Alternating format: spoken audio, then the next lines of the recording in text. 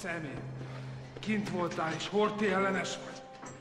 Zsidó kurva anyádat, azt, hát megtakapott tőlem, amit akar. The thing is, back Creo que sus raíces nunca le abandonaron. Sus orígenes. Miraba a la vida a través de esos ojos. what he was. Nunca olvidó quién era.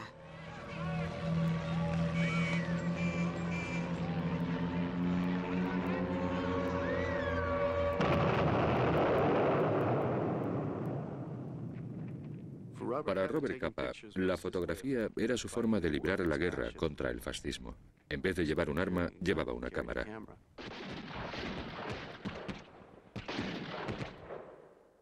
Yo creo que su obra nos enseñó mucho, porque se enfrentó a circunstancias muy crueles.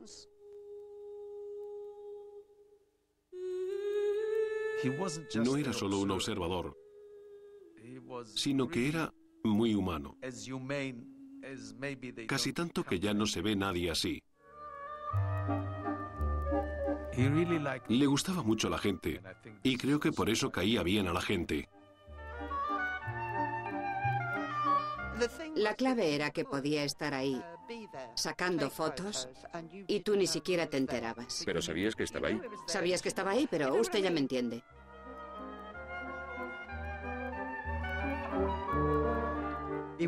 Era una de esas personas que te hacía sentir que le conocías de siempre. Podías hablarle de cualquier cosa.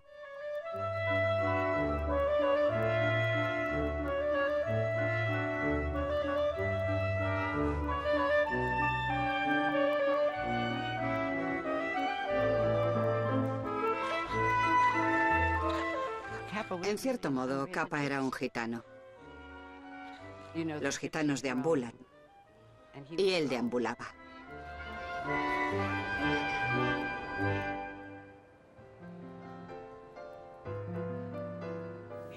Era guapísimo. Era precioso. Y tenía un maravilloso, musical y romántico acento húngaro. Tenía unos ojos negros preciosos. Siempre me acuerdo de sus ojos porque tenía una mirada de terciopelo. Y todas las chicas se enamoraban locamente de Capa.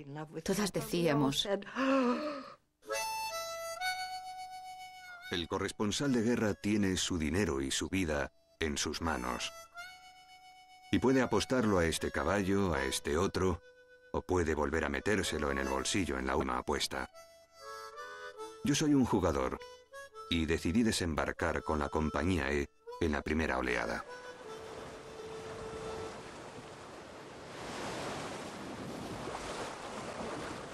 No fue bonito. Fue bastante feo, desagradable y precipitado.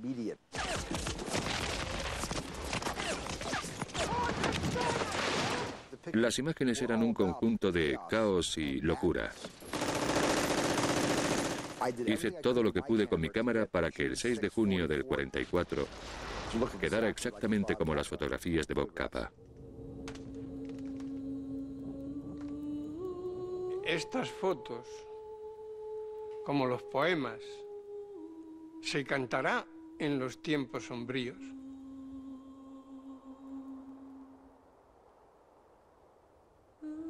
Y dice Break, se cantará de los tiempos sombríos.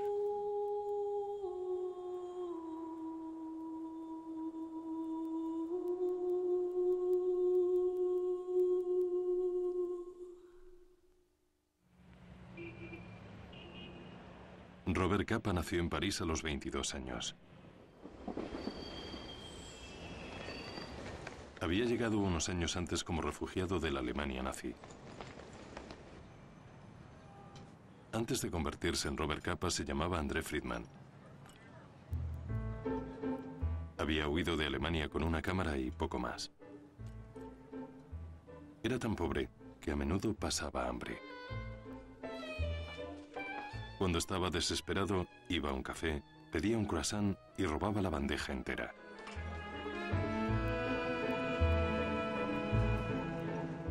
En los cafés de Montparnasse conoció un alegre grupo de refugiados de Alemania y de Europa del Este. pronto intimó con un joven fotógrafo polaco llamado David Schiman. Todos le llamaban Shim. Shim era un filósofo, Kappa no. Era un rufián.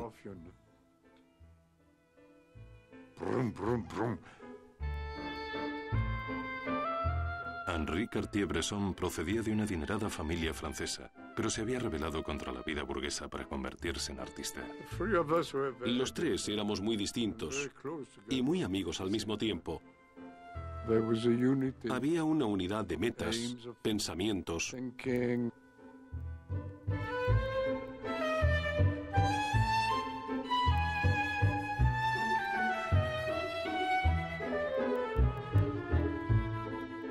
Trabajaban juntos usando pequeñas cámaras de 35 milímetros, explorando las posibilidades de esta nueva herramienta fotográfica para acercarse a los temas.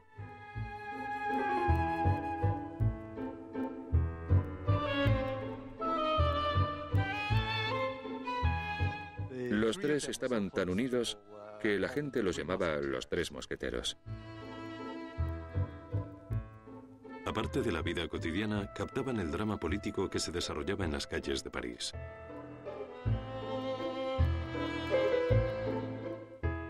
Una coalición de grupos de izquierda llamada Frente Popular se presentaba a las elecciones exigiendo mejores condiciones para los trabajadores.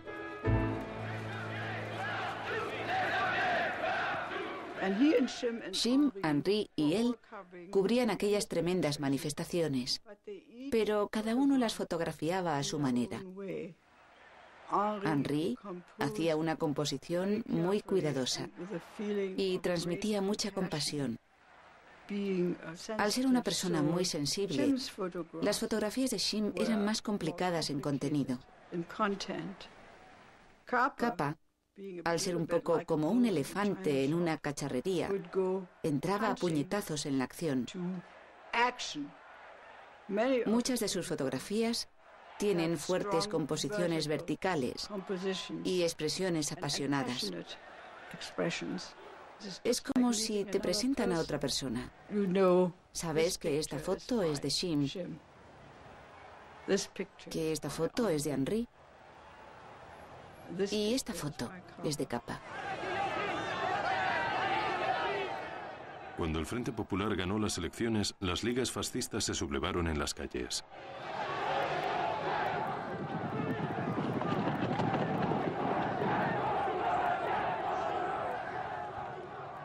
Las revistas francesas advertían del fin de la civilización con imágenes atrevidas y muy expresivas, denunciaban el oscuro panorama político en Europa y la amenaza del creciente ejército de Hitler.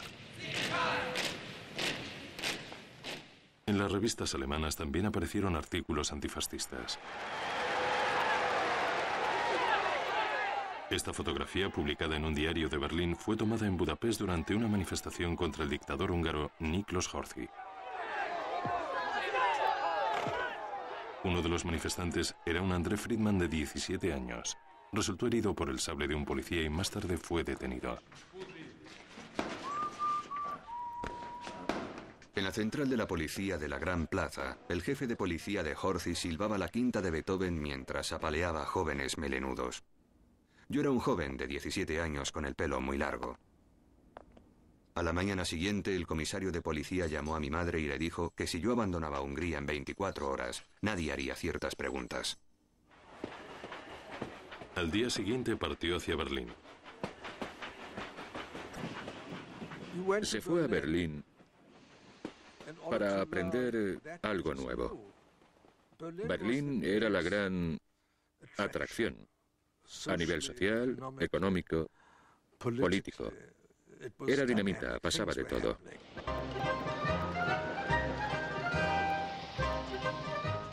Los nazis aún no habían ocupado el poder cuando Kappa llegó a Alemania. Berlín era la capital cultural del mundo. Kappa se matriculó en clases de periodismo en la Escuela Radical de Estudios Políticos. Quería convertirse en un reportero para luchar contra el fascismo con palabras. Se mudó a una sucia pensión y vivía a duras penas gracias a su pequeña paga. Pero cuando se le acabó el dinero, La casera le echó.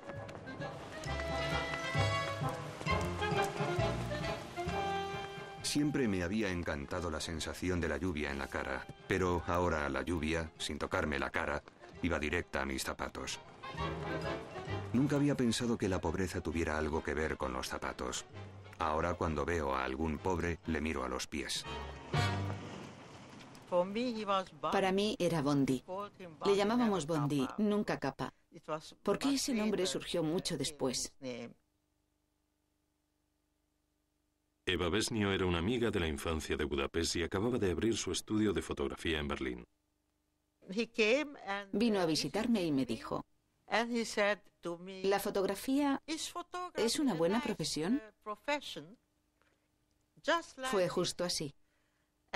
Y yo le dije, Bondi, no se puede hablar de la fotografía de esa forma.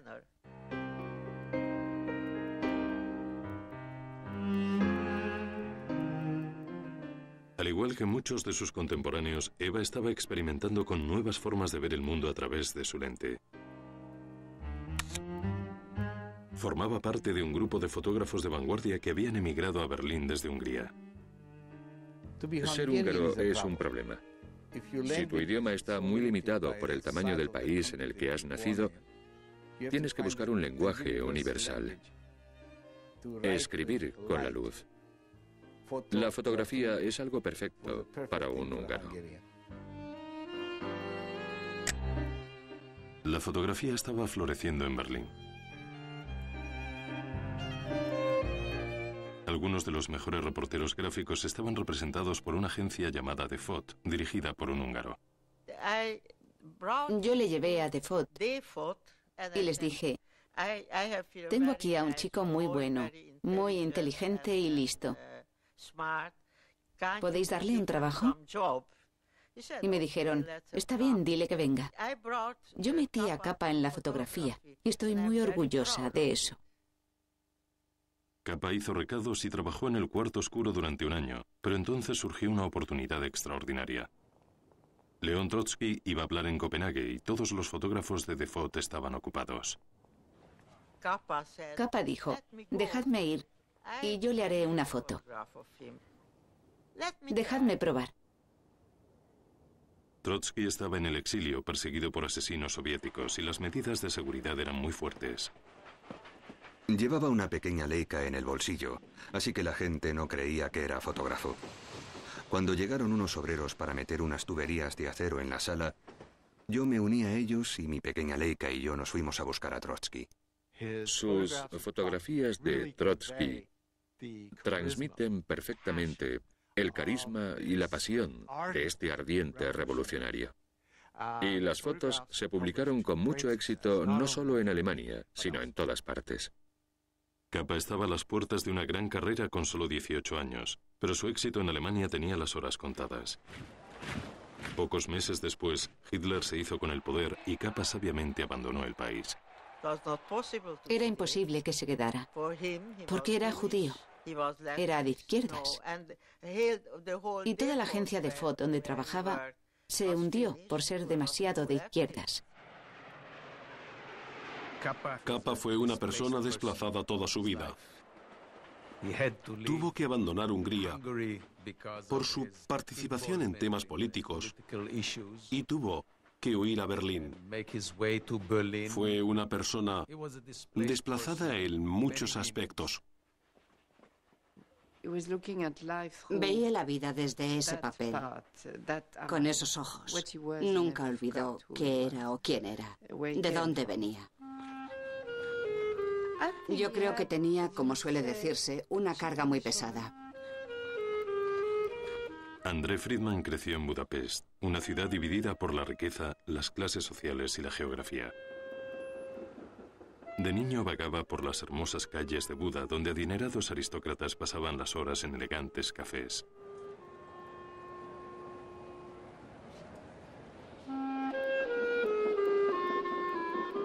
Luego volvía a casa cruzando el río Danubio hasta el bullicioso distrito de Pest, donde sus padres tenían una sastrería.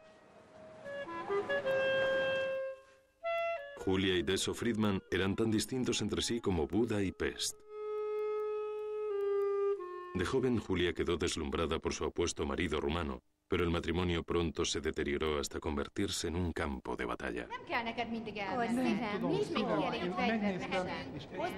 Su modesto apartamento estaba abarrotado de trabajadores que hacían ropa estilosa para la gente rica de Buda.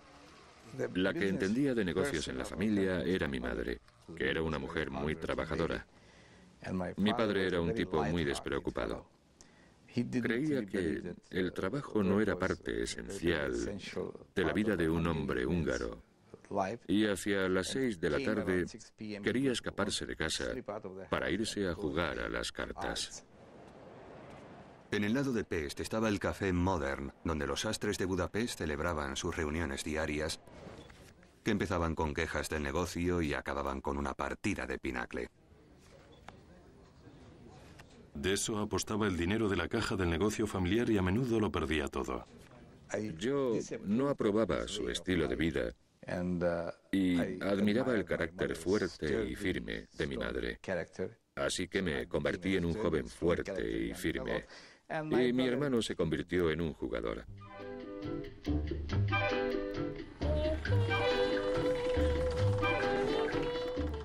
Uno de los primeros trabajos de Capa en Francia fue fotografiar la vida de lujo en la Riviera. Se gastó todo el dinero que le habían adelantado en una semana. Cuando le preguntaron, él insistió en que tenía que vivir el lujo para poder fotografiarlo. Y que lo sentía, pero que le habían robado la leica de su jefe en la playa al irse a dar un baño.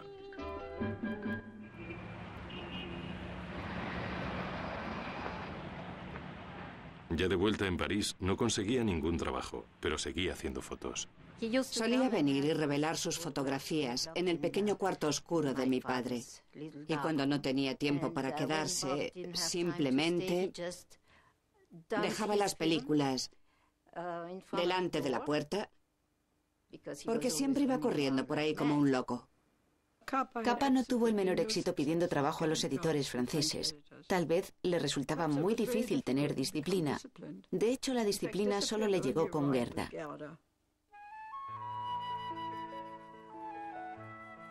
Gerda Pogoriles también era una refugiada judía de la Alemania nazi. Al igual que Capa, había sido encarcelada por protestar contra el fascismo y había escapado por los pelos a París. Gerda sabía hablar francés y otros idiomas. Siempre iba muy guapa y era muy alegre. Gerda sabía lo importante que era la presentación. Era una persona muy fuerte, muy parecida a Julia. Imagínate, madre, tengo el pelo corto, llevo corbata, los zapatos limpios. Me he convertido en un caballero, limpio y planchado, como un burguesito de Buda.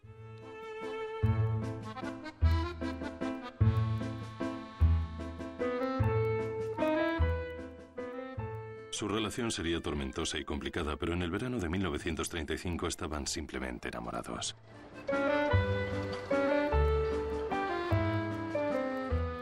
Nunca antes en mi vida había sido tan feliz.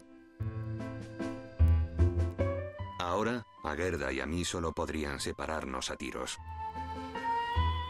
Al volver encontraron un apartamento de una habitación cerca de la Torre Eiffel. Yo sabía que era lo mejor de su vida en aquella época. Estaba muy, muy... Era pura pasión. Gerda me presenta a todos los editores y además escribe artículos. Por otro lado, no solo no zurce mis calcetines, sino que tampoco hace nada con los agujeros de sus medias. Camina tanto que rompe unas medias cada día. Ella iba por ahí vendiendo las fotos a los editores. Era muy persuasiva, pero no lo bastante persuasiva. Había que cambiar de estrategia y decidieron inventarse a un fotógrafo norteamericano llamado Robert Capa, de mucho éxito y tan famoso que nadie podía acercarse a él. Siempre estaba por ahí trabajando o de vacaciones en un hotel de lujo. Al parecer sacaron el nombre de capa del cineasta Frank Capra, que acababa de ganar un Oscar. Y entonces Gerda decidió que, como le gustaba a Greta Garbo, ella se llamaría Gerda Taro y que trabajarían juntos como socios.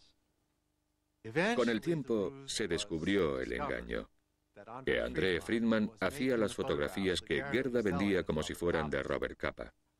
Y lo que decidieron en aquel momento fue que como las fotografías eran tan buenas y se las estaban publicando, André Friedman podía convertirse en Robert Capa. La gente dice que creó su propio personaje, pero él encajaba en ese perfil. Creó un personaje que sacaba provecho de todas sus cualidades innatas. Es decir, si creases un personaje como Bob Capa y le conocieras, dirías que la persona perfecta para hacer ese papel es Bob Capa. Querida madre, estoy trabajando bajo un nuevo nombre. Ahora me llamo Robert Capa. Es como volver a nacer, pero esta vez sin hacerle daño a nadie.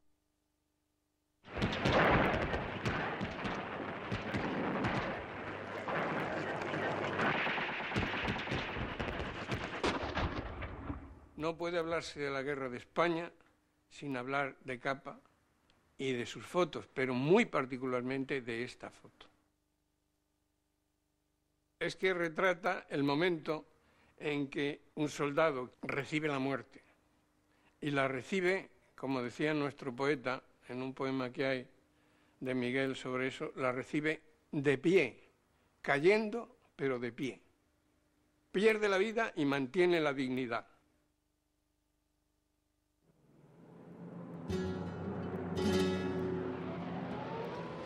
Los aviones fascistas bombardean Madrid con el apoyo de Hitler y Mussolini. Madrid estaba sitiado. Madrid fuimos un campo de experimentación ¿eh? de todas las armas que entonces habían modernísimas y que las tenía Alemania.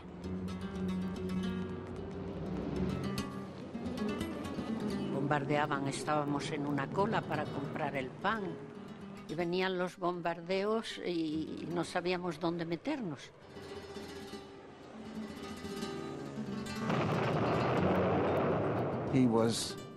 Estaba más que ansioso por mostrar los efectos de la guerra sobre la gente corriente y las fotos que pudo sacar mostraban a la población aterrada.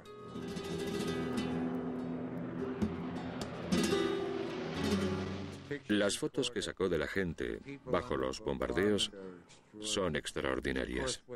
Claro que lo que no se ve, pero conviene saber, es que él estaba ahí parado mientras los demás corrían.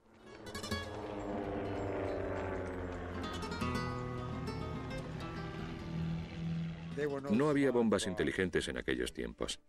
Las bombas salían del avión en hileras y caían donde tocaba. Siempre igual. Las sirenas, el pánico, las carreras, el estruendo de las bombas.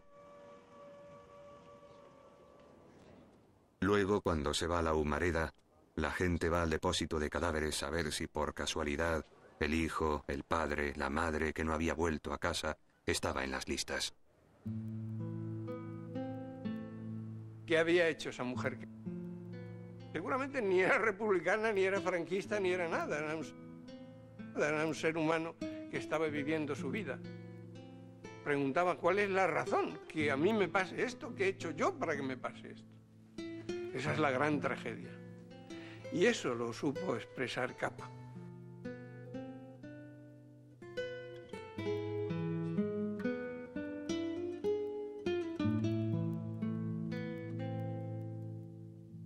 Fotografías de capa se publicaron en diarios y revistas de todo el mundo. España era su guerra. Era la primera oportunidad para que los hombres y mujeres de su generación se enfrentaran al fascismo de forma militar. Voluntarios del mundo entero llegaron para luchar por la democracia en España. Gerda Taro, una apasionada partidaria de la República Española, vino a España con capa como periodista. Él la enseñó a hacer fotos y trabajaron juntos codo con codo. A medida que Gerda fue cogiendo confianza, sus distintas identidades dejaron de tener tanta importancia, hasta el punto de que incluso decidieron encargar un sello que diría simplemente foto, capa y taro. Formaban un auténtico equipo. Con una cámara de cineimo grababan imágenes de noticias para March of Time.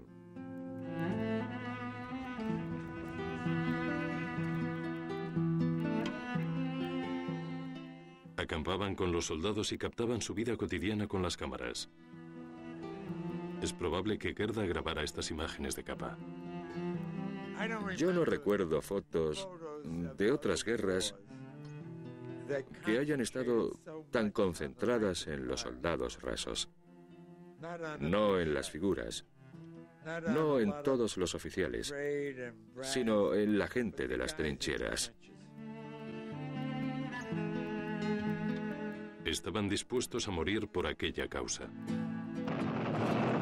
Se jugaron la vida muchas veces para cubrir la lucha de cerca.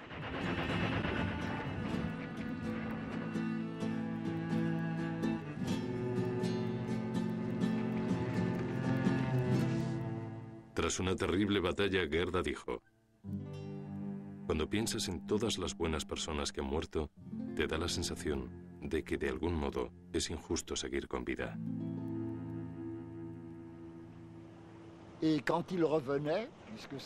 Cuando volvieron, porque fueron varias veces, vi su trabajo. Y cuando me reuní con ellos, vi a una pareja enamorada y daba gusto verles. Se amaban y trabajaban muy bien juntos. Era ideal, de verdad, pero muy breve. En julio de 1937 estalló una batalla en el pueblo de Brunete, al oeste de Madrid.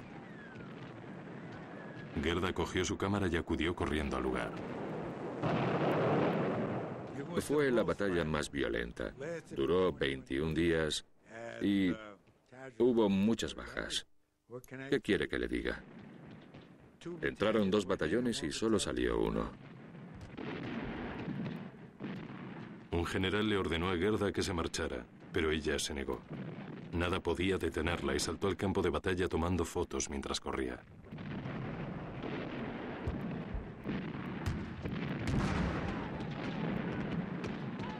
Todo mi escuadrón murió prácticamente y uno murió como a esta distancia.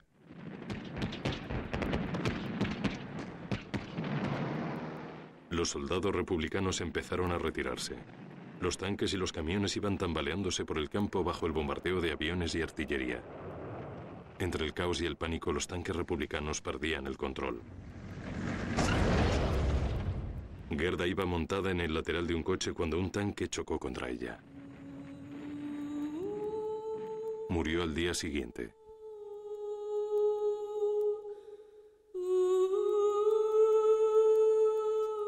Capa supo de su muerte mientras leía el periódico. Estaba sentado en el sillón del dentista. Pasó la página y ahí estaba el titular. La corresponsal Gerda Taro muere en Brunete. Una inmensa procesión acompañó al cadáver de Gerda hasta un cementerio de París. Aquel día hubiese cumplido los 26 años. Louis Aragón, editor de Sesoir, acudió al entierro con capa. Le vi llorar. Fue muy raro. Aragón le iba sujetando y salimos del cementerio. La muerte de Gerda fue terrible. Todas sus esperanzas y todo su futuro desaparecieron de golpe. Aquello le cambió. Estoy segura de que cambió por completo en aquella época. Querida madre, estoy tan nervioso y alocado que lo único que puedo hacer es coger fuerzas y trabajar mucho. Con el tiempo seré más tolerable.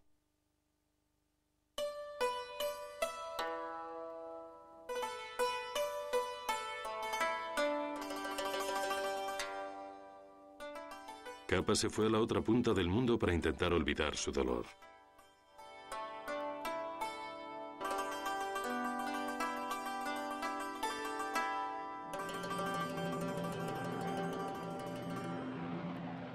Estaba en Shanghái para cubrir la invasión japonesa de China.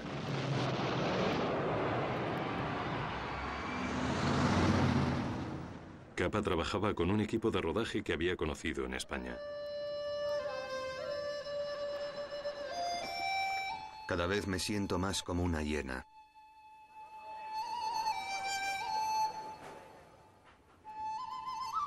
Aunque conozcas el valor de tu trabajo, se te mete bajo la piel. Todo el mundo sospecha que eres un espía o que quieres ganar dinero a costa de otras personas.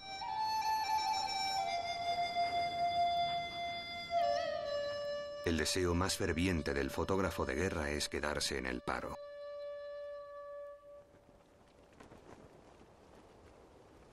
Seis meses más tarde volví a España.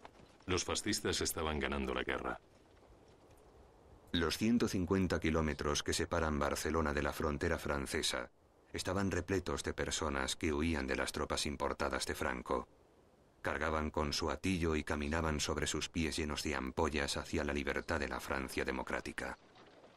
Los periodistas le sacaban fotos, pero al mundo no le interesaba demasiado. Y a los pocos años, vimos a muchas otras personas en muchas otras carreteras huyendo y cayendo ante las mismas tropas y las mismas esvásticas. Las fotografías de capa captaron el horror de la guerra civil española. El Picture Post declaró que era el mejor fotógrafo de guerra del mundo. Tenía 25 años. Al regresar a París fotografió la carrera ciclista del Tour de Francia, sacando las fotos montado de espaldas en una motocicleta.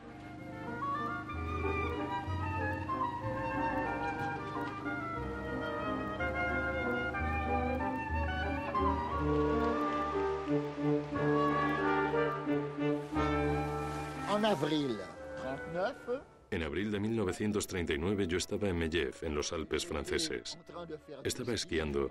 En un momento dado me paré y otro esquiador se cayó justo delante de mí. Me miró y era capa. Un buen fotógrafo siempre está preparado para lo inesperado. Así que saqué esta foto de capa. Luego él me cogió mi Rolleiflex y me hizo una fotografía a mí.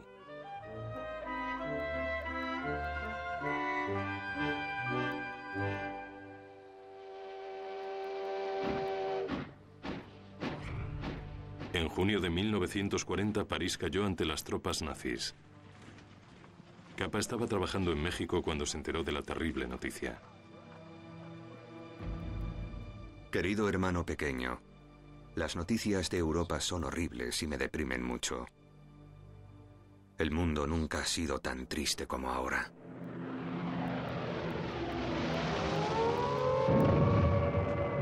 Tres meses más tarde, los aviones alemanes empezaron a bombardear Londres.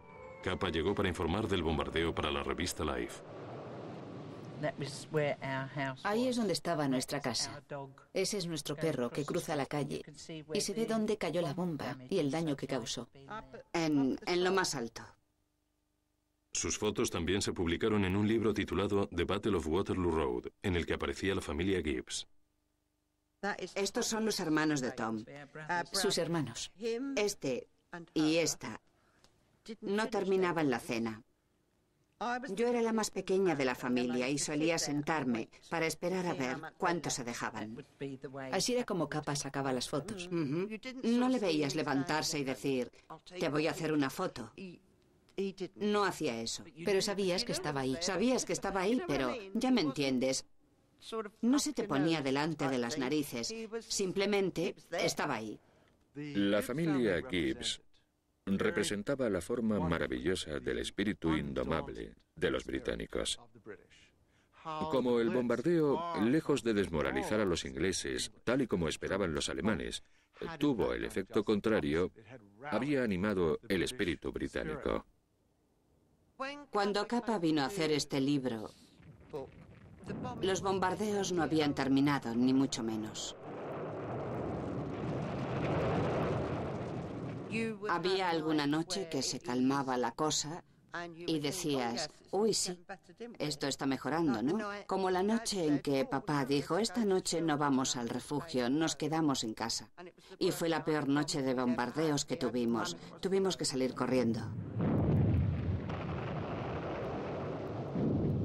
Íbamos a un refugio que había debajo de una iglesia. La gente del ejército de la iglesia nos traían té y nos tomábamos todos un té juntos. Casi todas las mujeres y los caballeros murieron después, pero sí solían bajar ahí para traernos el té y solíamos sentarnos a charlar. Cada uno tenía un catre para dormir. Y los nuestros estaban al fondo, que estaban justo bajo la entrada de la iglesia, que fue donde cayó la bomba. Dio en lo alto del mismísimo altar y explotó. De no haber dado en el altar, podría haber atravesado el suelo y caer sobre nosotros. Pero cuando salimos por la mañana, la iglesia estaba totalmente destrozada. No quedaba ni un banco. No. Así que nos pusimos todos a limpiar la iglesia lo mejor que pudimos. La gente trajo sillas y nos colocamos. El padre Hatch, que era el cura, decidió que nos juntáramos todos para hacer una misa. Esas fotos te dicen mucho de los hombres. Sí. Su aspecto, lo que son, lo que eran. Y se ve la diferencia con los niños en sus caras.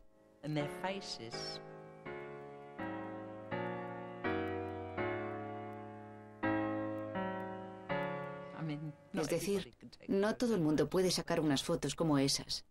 Está ahí. Él lo llevaba dentro. De Inglaterra, Capa se fue a Nueva York.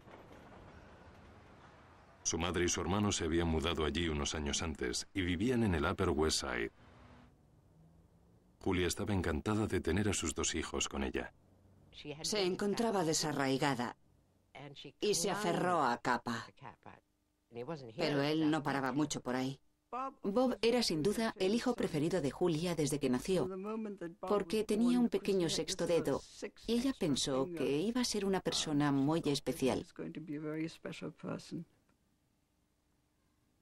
Él sabía cómo hacerla feliz con muy poco tiempo. Por ejemplo, cuando ella iba a París, él le enviaba rosas al hotel, se la presentaba a todos sus amigos y la sacaba por ahí, pero luego volvía a desaparecer. Capa se fue al oeste para fotografiar una cacería de alces. Me he convertido en un auténtico vaquero. Son grandes, duros y sanos. Y se divierten mucho con todo lo que hacen. Les trae sin cuidado lo que ocurre en Europa. Trabajaba para la revista Life en artículos que le llevaron por todo Norteamérica.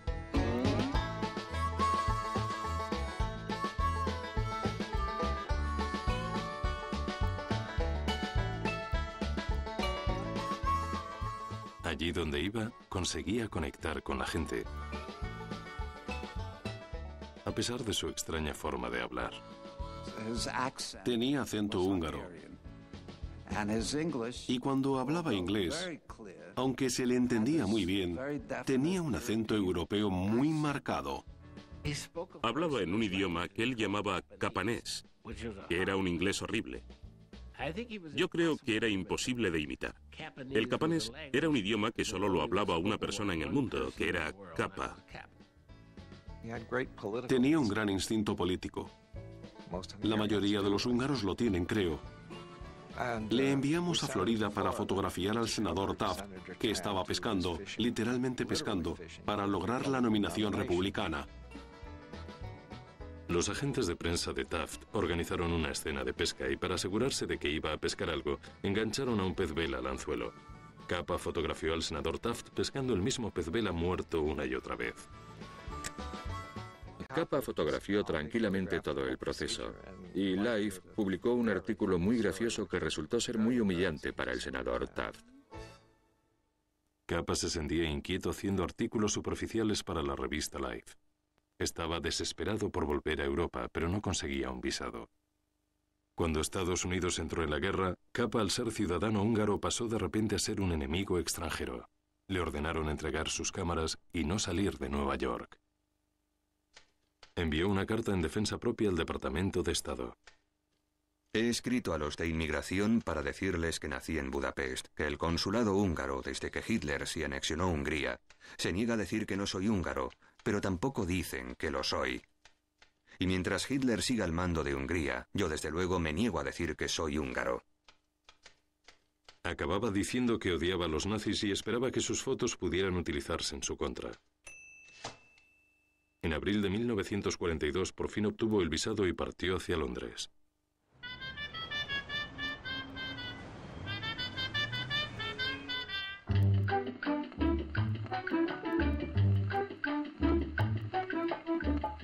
Le dije la verdad sobre mi habilidad para bailar. Ella dijo que la rumba no la bailaba tan mal y que podía mejorar en poco tiempo. Yo le contesté que en 10 años nadie había logrado ninguna mejora. Ella me dijo que tenía una idea nueva y yo me temía que yo tenía otra. Capa la llamaba Pinky por su pelo de color fresa. Se conocieron en Inglaterra mientras Capa guardaba la acreditación del ejército de Estados Unidos. Ella estaba casada con un piloto, lo cual le daba un punto inalcanzable perfecto. Como preparación para la vida en el frente se encargó un uniforme especial en un sastre de Bond Street. Se despidió de Pinky y partió hacia el norte de África. Le dije que era un gitano y un periodista, que lo sentía mucho y que me alegraba mucho, porque era demasiado encantadora.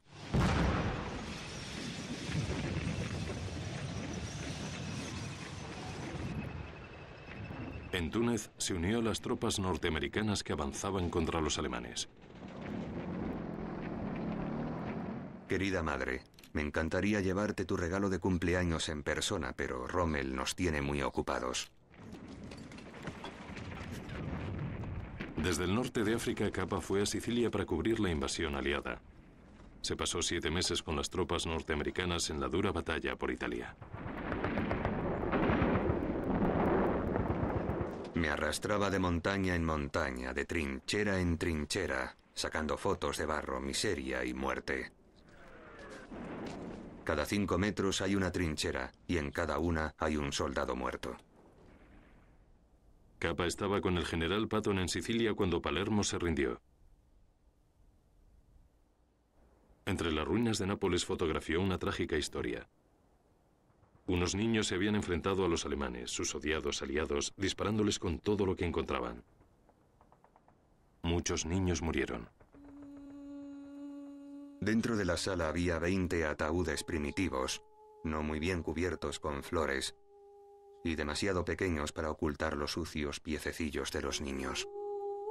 Esos niños napolitanos habían robado rifles y balas para luchar contra los alemanes durante 14 días. Esas fueron las verdaderas fotos de la victoria. Tras pasar casi un año en el frente, Capa ansiaba volver a Londres y a Pinky.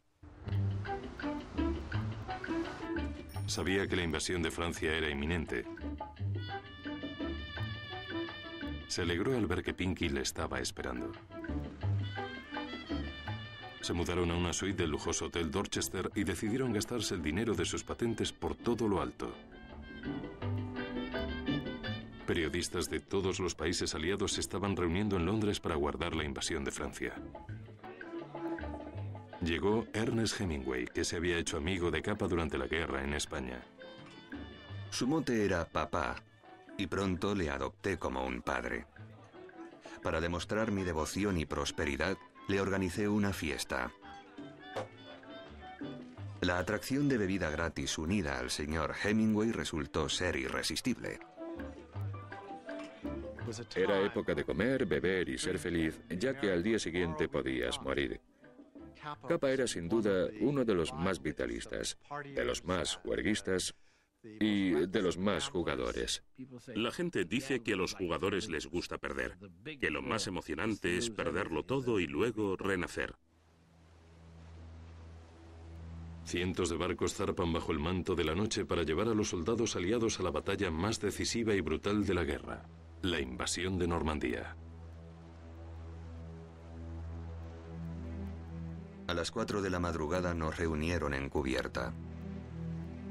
Dos mil hombres en silencio absoluto. No sé en qué pensaban, pero era una especie de plegaria. Capa escogió la misión más peligrosa, acompañar a los primeros soldados que desembarcarían en la playa de Omaha. Sería el único fotógrafo en la primera oleada.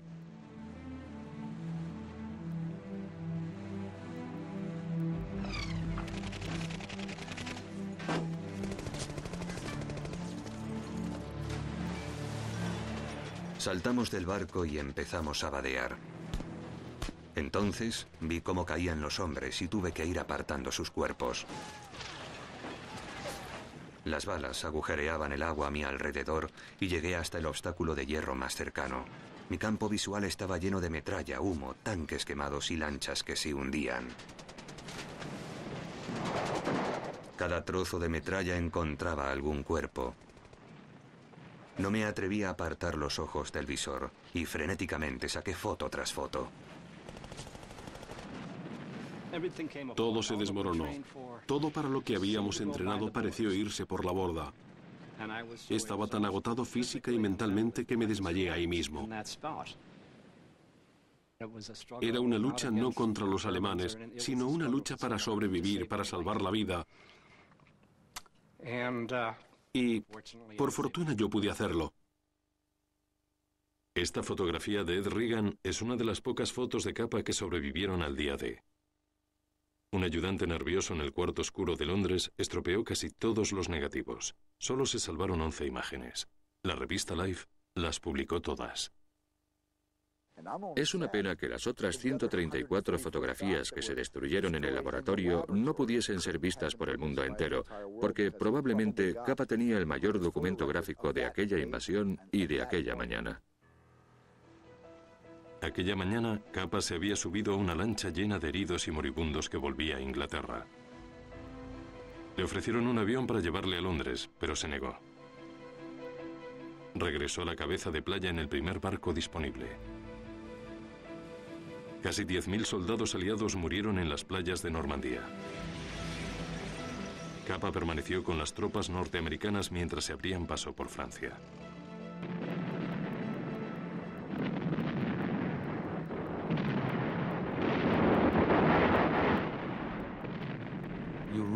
La guerra es algo odioso. Pero hay que reconocer que hay algo emocionante en tu capacidad, no solo de poner a prueba tus propios límites, sino de participar en algo grande que está ocurriendo. Cuando corres un riesgo y tu vida está en peligro, la adrenalina te sube con tanta fuerza que te sientes más vivo cuanto más cerca estás de la muerte que en circunstancias normales.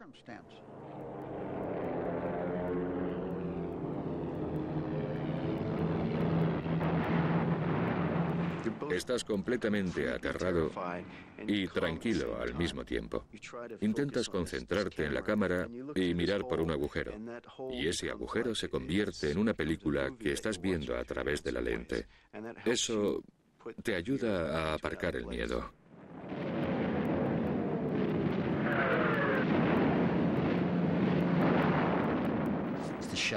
Empezaron a llover los proyectiles y yo salté a una zanja grande muerto de miedo. De repente, entra un hombre que estaba muy calmado en medio de todo aquello. Y empieza una conversación y se pone a hablar de Tolstoy. Nunca lo olvidaré. Era como si solo fuese un ruido cualquiera.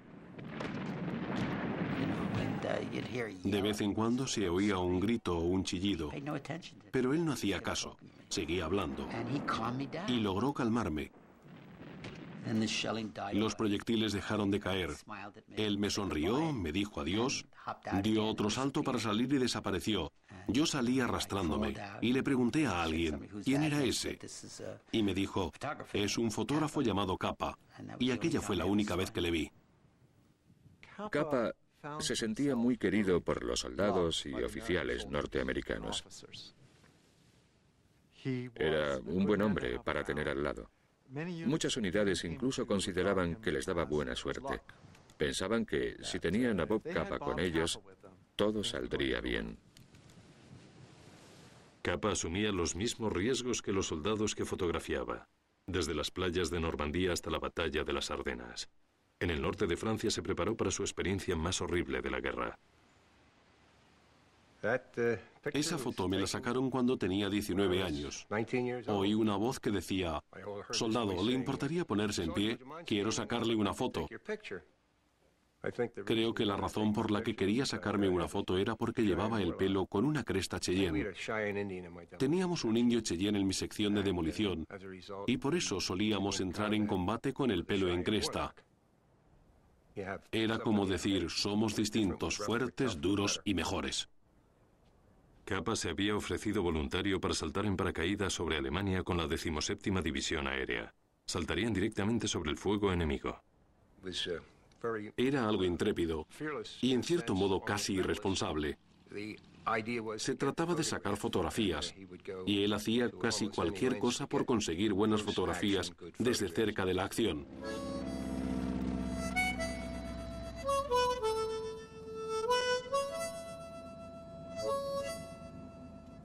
Parte de ti no piensa ni siente, pero otra parte sí. Sabes que te vas. Bueno, el avión está en el aire, así que sabes que te vas. Y no estás muy seguro de qué te vas a encontrar al llegar. Solo sabes lo que se supone que va a haber. Empecé a pensar en toda mi vida. Era como una película en la que el proyector se había vuelto loco. Vi todo lo que había comido, todo lo que había hecho, y llegué al final en 12 minutos justos. 200 metros más abajo estaba el Rin. La luz se puso verde y los chicos gritaron ¡Umbriago!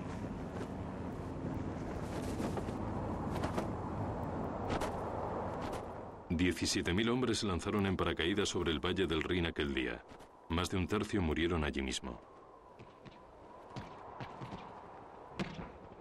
Lo más impresionante que he visto en mi vida es la forma en que todo el mundo se queda tumbado en el suelo al tocar tierra. Parecieron como dos minutos en los que todo el mundo estaba tumbado. Te disparaban según ibas bajando. Así que parte de las tropas no llegaban a tierra con vida. A unos 10 metros había unos árboles altos. Algunos de los hombres que habían saltado detrás de mí habían caído en ellos y estaban colgados e indefensos. Esa es la última foto buena de mi pie derecho, porque me dejé mi pie derecho en Europa.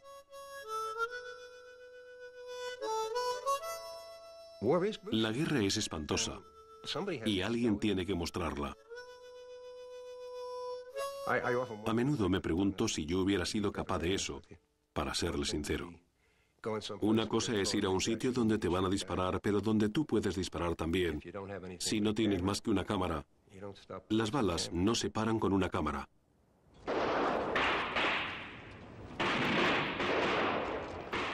Capa entró en Leipzig con el ejército de Estados Unidos. Los francotiradores alemanes seguían disparando incluso después de que la ciudad se hubiese rendido. Capa se subió al balcón de un edificio de apartamentos desde el que unos soldados norteamericanos devolvían los disparos. El chico tenía una cara limpia, abierta y muy joven, y su ametralladora seguía matando fascistas. Le saqué una foto y fue la última que le saqué con vida.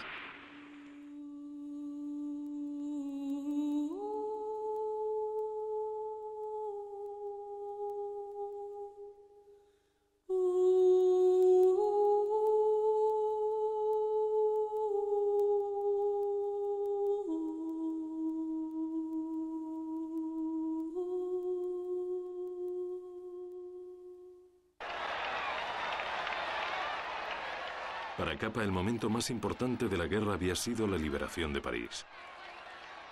El camino a París estaba abierto y todos los parisinos estaban en las calles para tocar el primer tanque, para besar al primer hombre. Nunca se había visto a tanta gente, tan contenta y tan temprano por la mañana. Sentía que esa entrada en París estaba organizada especialmente para mí. En un tanque fabricado por los norteamericanos regresaba a París, la hermosa ciudad donde había aprendido a comer, beber y a amar.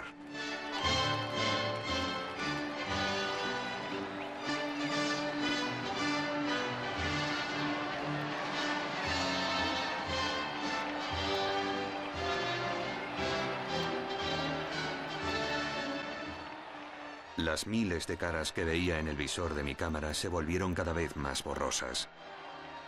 Ese visor estaba muy, muy mojado. Pasamos por el barrio donde yo había vivido seis años. Mi portera saludaba con un pañuelo y yo le gritaba desde el tanque, «C'est moi, c'est moi».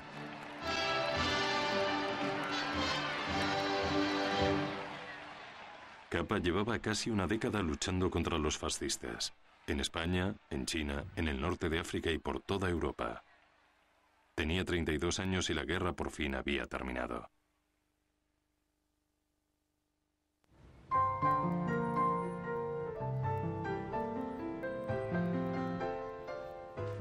Capa se encontraba en el bar del Ritz de París con el escritor Irving Shaw cuando vieron algo impactante. Ingrid Berman subiendo por las escaleras. De inmediato le enviaron una nota a su habitación. Teníamos planeado enviarle flores e invitarla a cenar esta noche. Pero tras una consulta, hemos descubierto que es posible pagar por las flores o la cena, pero no por las dos cosas. Mi madre fue a cenar y Bob Capa le pareció tremendamente encantador y divertido. Y de hecho, se enamoró de él. Berman se encontraba de gira por Europa para entretener a las tropas norteamericanas. Cuando Capa fue destinado a Berlín, volvieron a encontrarse. Es tu mente feliz la que amo, y hay muy pocas mentes felices en la vida de un hombre. Berman terminaba de ganar un Oscar por su papel protagonista en Luz que agoniza, y pronto tuvo que regresar a Hollywood para su siguiente film. Protagonizaba el thriller romántico de Alfred Hitchcock, Encadenados. A mitad del rodaje llegó Capa. Entró en el plató como fotógrafo. Capa alcanzó un momento en su carrera en el que ya no quería ser fotógrafo de guerra y pensó que le gustaría meterse en el mundo del cine. El mundo del cine, a diferencia de la guerra, es bastante aburrido. O se parece a la guerra cuando te aburres gran parte del tiempo y entras en acción esporádicamente, y a Capa le resultó muy aburrido. Capa acudía al plató todos los días, pero Berman y él debían tener mucho cuidado para no mostrar sus sentimientos en público. Años más tarde, ella revelaría su aventura en su biografía. Eso de estar enamorada de Capa mientras todavía estaba casada no fue fácil. No fue nada fácil, dice, porque yo era muy moral, muy puritana, digamos, pero tenía muchas ganas de estar con él. Mientras esperaba oportunidades para ver a Berman a solas, Capa exploró el mundo social de Hollywood. Por supuesto tenía mucha aceptación social. Primero era atractivo, tenía un buen sentido del humor, era famoso en ciertos círculos. Y era soltero. Pero Capa no era feliz en la fábrica de sueños. Me dijo, no soporto ir a las casas de los demás, por eso no me gusta Los Ángeles, porque ahí todo se hace en casa de los demás. Yo quiero ir a un café donde al terminar me levanto y me voy al próximo sitio. Aburrido en el plató e inquieto en Hollywood, Capa se buscó otras formas de entretenerse.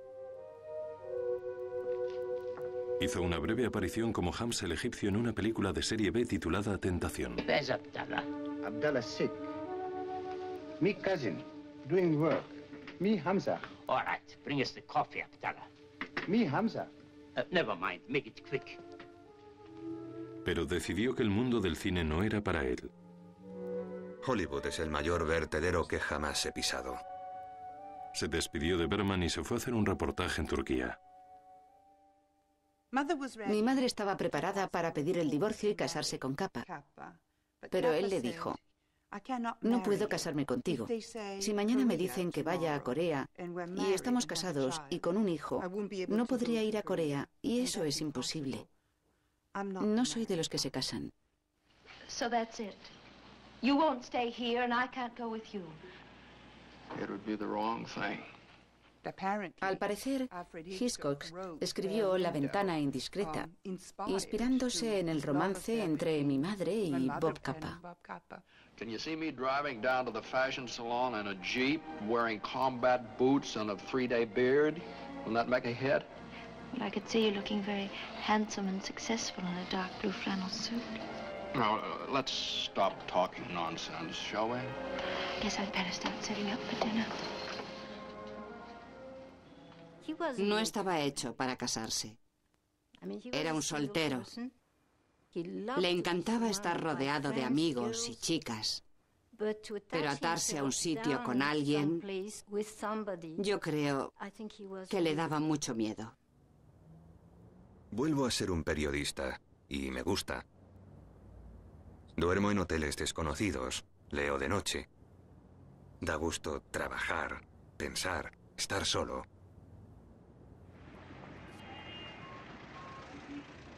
En Nueva York, en la primavera de 1947, Capa hizo realidad el sueño de su vida y lo llamó Magnum. Escogimos el nombre porque cuando nos reunimos había una botella de champán, aunque yo no lo bebo. Prefiero el vino tinto. Su idea era formar una cooperativa de fotógrafos independientes. Primero convenció a su viejo amigo Shim para que se uniera a él, Sim convenció a Henri Cartier-Bresson y los tres mosqueteros volvieron a juntarse. George Roger, un fotógrafo inglés que Capa había conocido durante la guerra, se apuntó como el cuarto miembro fundador. Dios mío, aquello fue increíble. Como eran tan distintos en cuanto a orígenes, formación, de todo. Era asombroso que pudieran trabajar juntos. Cartier-Bresson se pasó los siguientes tres años trabajando en Asia.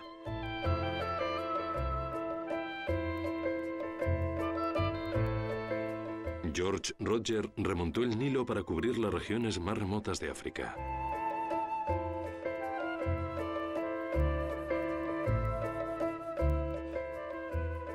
Shim recorrió Europa concentrándose en los niños afectados por la guerra.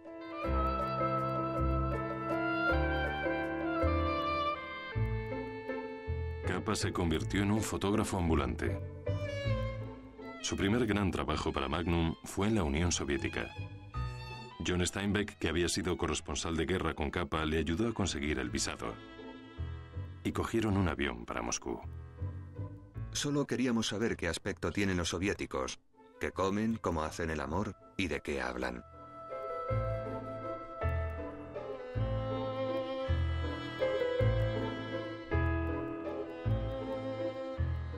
Fue todo un éxito colarse tras el telón de acero. El reportaje se vendió por la enorme suma de 20 mil dólares y Magnum se quedó con los derechos de autor. Lo más gordo que inventó Capa al crear Magnum fue el ser independiente. Creo que inventó la idea de que los fotógrafos fuesen propietarios de sus negativos para poder vender las fotos a más de una revista a la vez. No tiene ni idea de las consecuencias de eso. Significa que cada fotógrafo no solo trabaja para la revista Life o la revista Look, sino para sí mismo. Eso es por lo que luchábamos, por controlar nuestra obra. Y esa es una forma de que te respeten y no ser empleados o herramientas de las grandes revistas. Esa era la clave de Magnum. En mayo de 1948, cuando Ben Gurion proclamó la fundación del Estado de Israel, Capa estaba allí para fotografiar el acontecimiento. Fue un momento eléctrico e histórico. Cuando los británicos terminaron su mandato y su gobierno sobre Palestina, Bob Capa fue uno de los pocos fotógrafos que estaban en el muelle del puerto de Haifa. Y era muy evidente que había alguien muy enérgico, que no paraba de moverse con sus cámaras para intentar sacar fotos desde todos los ángulos posibles. Yo estaba sentado en un edificio junto a los oficiales británicos mientras veíamos la ceremonia en la que se arriaba la bandera inglesa. Aquel mismo día, los países árabes colindantes invadieron Israel. Al nuevo país, nacido de la batalla victoriosa, no se le concede ni un respiro. Capa se unió a las tropas que luchaban en el desierto del Negev. Se sentía unido a esa gente, no solo a un nivel humano y universal, sino porque también era su pueblo. Tan solo unos meses antes, Capa había visitado Budapest por primera vez en 15 años. Se encontró con la ciudad en ruinas. Muchos de sus amigos y parientes habían sido asesinados por los nazis. Capa escribió un artículo sobre la trágica historia de los judíos en Hungría. Creían que estaban a salvo incluso cuando los reunieron para hacer trabajos forzados, pero al terminar la guerra, medio millón de judíos húngaros habían muerto en los campos de concentración. Estos inmigrantes son los heterogéneos restos de un pueblo que hace dos mil años abandonó estas costas para desperdigarse por todos los rincones de la tierra y que ahora está volviendo.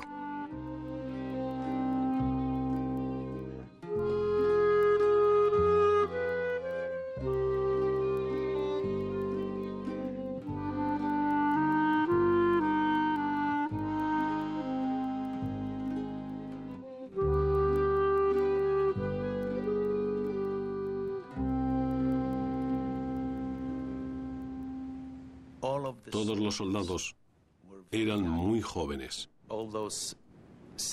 Todos esos chicos y chicas de 17 o 18 años de los que formaba parte tenían algo muy ingenuo, esperanzador y muy romántico, mientras que hoy en día creo que ya no somos tan románticos.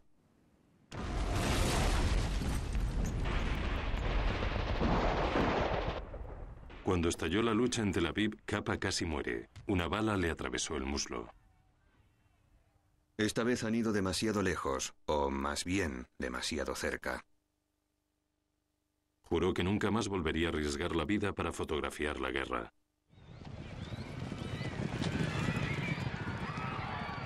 De vuelta en París, la fama de jugador de capa se hizo legendaria. Se sentía realmente fascinado por las carreras y el juego era parte de lo que le mantenía con vida. Era lo que le impulsaba. A veces cogía prestado dinero de Magnum para apostar a los caballos. Solía apostar bien. Y le daban buenos soplos. Pero cuando perdía, pues perdía. Era parte del juego. Cuando ganaba, las ganancias mantenían a la oficina.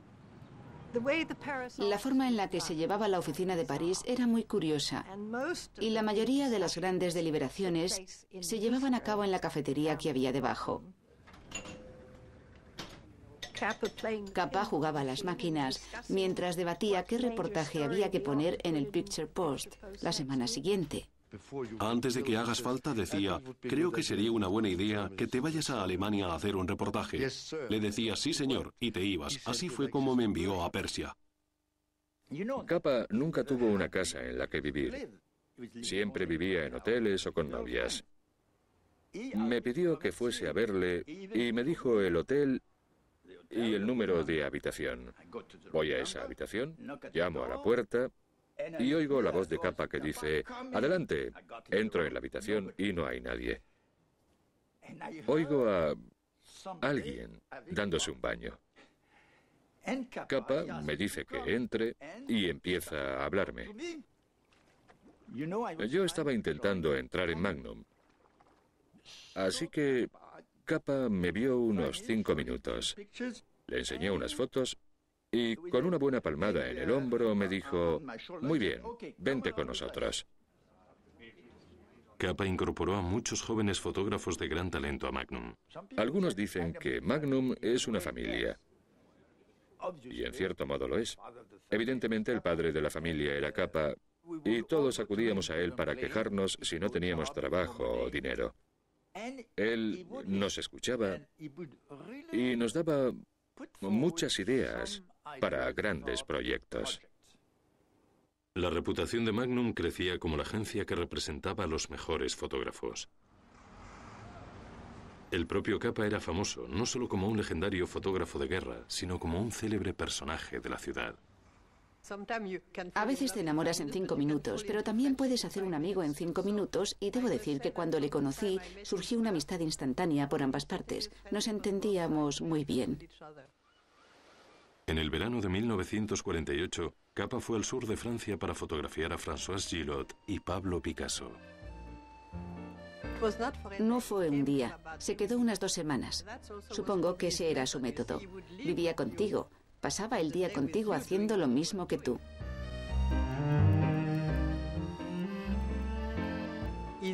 Vivía un ritmo muy rápido. Todo lo que hacía no lo hacía despacio, lo hacía de forma instantánea.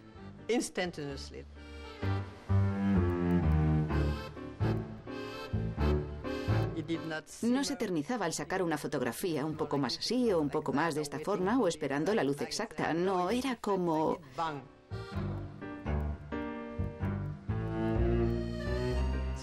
Por eso, lo que sí podías decir es que Capa te entretenía. Se convirtió en una especie de diversión hacer esto o lo otro con él. Con Capa simplemente vivías con él y delante de él. Capa se había convertido en el hombre que él mismo había inventado. Un fotógrafo norteamericano de éxito que siempre estaba trabajando, fotografiando y codeándose con los ricos y famosos del mundo entero. Aquella fue la mejor época para Capa, pero muy pronto se convertiría en su peor época. A 1953 lo llamó su año negro. Un día en París recibió una llamada de la Embajada de Estados Unidos para que devolviera su pasaporte. Aquello fue un golpe tremendo para él. Podría decirse que su mundo se vino a abajo. Era el apogeo de la Guerra Fría. Aunque se había hecho ciudadano estadounidense, su viaje a la Unión Soviética y su participación en la Guerra Civil Española se consideraban pruebas de simpatía hacia el comunismo. Pero en realidad, Capa había tomado una decisión respecto al Partido Comunista hacía mucho tiempo. Cuando tenía 17 años se había reunido en secreto con un reclutador comunista. A las 4 de la mañana habíamos cubierto casi todas las calles de Budapest y todos los aspectos de la revolución mundial. A él le pareció que yo era un peludo intelectual con cinco libros medio digeridos y un padre burgués. A mí me pareció que sus opiniones eran mucho menos radicales de lo que me esperaba y que su altivez era una actitud bastante pretenciosa. Decidí no unirme al Partido Comunista. Aunque creía en la justicia social, era demasiado listo desde una edad muy temprana para caer en la propaganda y en las seducciones del comunismo. Sin su pasaporte, Capa no podía trabajar como periodista. Tuvo que pagarle a un abogado 3.000 euros para que limpiara su apellido y recuperase su pasaporte. Sentía una ansiedad terrible por tener dinero suficiente para mantener el negocio en marcha y estaba harto de tener que llevar todo el peso de Magnum sobre sus hombros. Para huir de sus problemas, Capa se recorrió Europa fotografiando a estrellas de cine, haciendo reportajes sobre la vida en las estaciones de esquí para las revistas Illustrated y Holiday. Creo que interpretaba un papel en la vida, pero su lado alegre, divertido, bebedor, juerguista, amante, nunca pudo ocultar del todo esa especie de nostalgia que se le notaba y se le veía en los ojos. Su amigo Irwin Shaw escribió, Solo por la mañana muestra capa que la tragedia y las penas que ha vivido le han dejado huella. Luego, Capa se bebe un cóctel fuerte y burbujeante, se prueba su sonrisa de tarde y pone rumbo cuidadosamente despreocupado a esos lugares en los que este hombre sin hogar puede sentirse en casa. Para las jóvenes modelos, para todas esas chicas que llegaban a París, Capa era como un gran dios, excepto por una mujer, que yo creo que fue su gran amor, Jamie Hemon. Ella era lo único que realmente le importaba. Jamie era una de las pocas personas en las que Capa confiaba. Tengo que volver a hacer algo, no solo para ganarme la vida, sino para volver a vivir, para volver al trabajo de verdad. El periodo de Deauville, de Biarritz y del cine sí acabó. A principios de 1954, Capa tuvo una buena noticia había recibido una invitación para ir a Japón a exponer su obra. Tuvo una gran bienvenida, como un héroe, cosa que era en cierto modo. Y creo que eso le vino muy bien para la moral, ¿sabe? Estoy muy feliz en Oriente. Japón es el paraíso de un fotógrafo.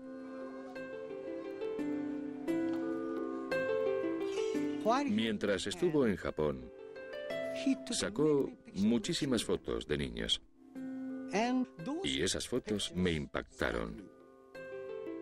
Se agachaba lo justo para ponerse al nivel de los ojos de los niños.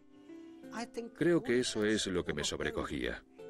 Eso explica mucho de su calidad como ser humano.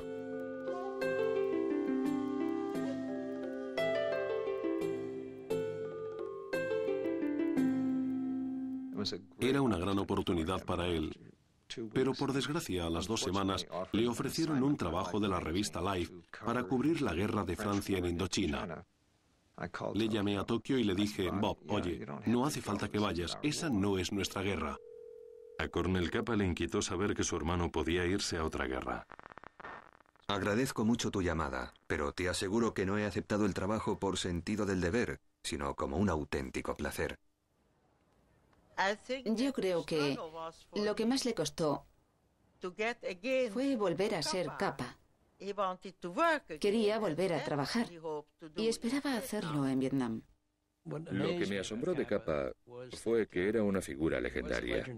Ya había cubierto cuatro guerras antes de llegar a Vietnam y me esperaba alguien mucho mayor, pero era muy joven. Me pareció muy joven. Yo tenía 29 años y él 40. Estaba encantado de que los vietnamitas estuvieran ganando la guerra. Encantado, igual que yo. No había la menor duda. Era un deseo ferviente que teníamos.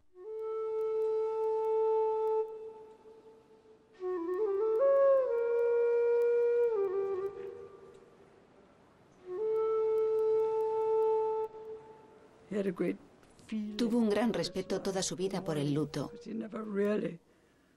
porque nunca llegó a superar la pérdida de Gerda. Así que en Vietnam fotografió a una mujer sentada junto a la tumba de su marido o de su hijo.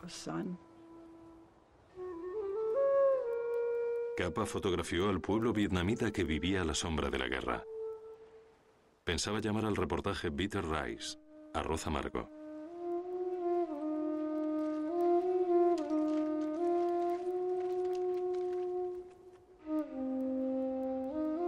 La guerra casi había terminado y los franceses estaban retirando.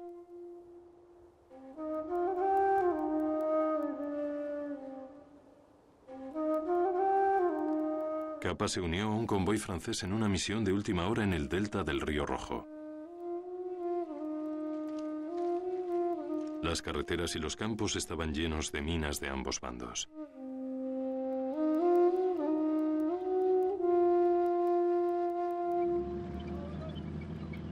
Capa iba con unos pocos periodistas y soldados. Le advirtieron que no se separase del convoy. Tenía un dicho muy famoso que era algo como, si la foto no es lo bastante buena es que no estabas lo bastante cerca. Yo no creo que fuese un imprudente. Lo dijo muchas veces. Tendré muchísimo cuidado excepto si solo hay un sitio para sacar la foto que quiero. Entonces iré a ese sitio. Cuando los camiones pararon, Capa le dijo a los otros periodistas, voy a avanzar un poco por el camino. Recogedme cuando volváis a arrancar.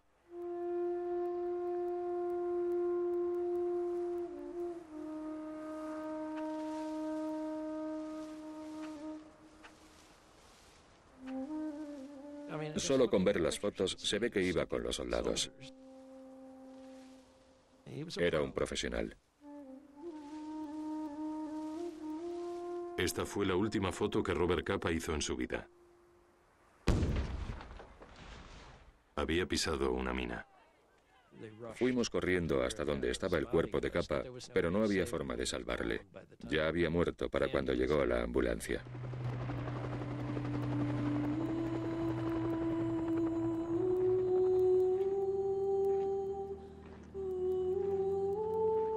Robert Capa recibió un entierro militar en Hanoi.